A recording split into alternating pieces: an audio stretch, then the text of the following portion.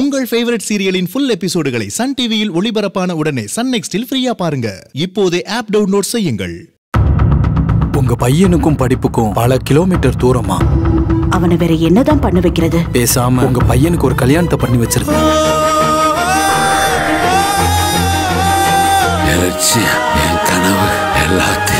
உங்களுக்கு ஒண்ணும் இல்ல சார்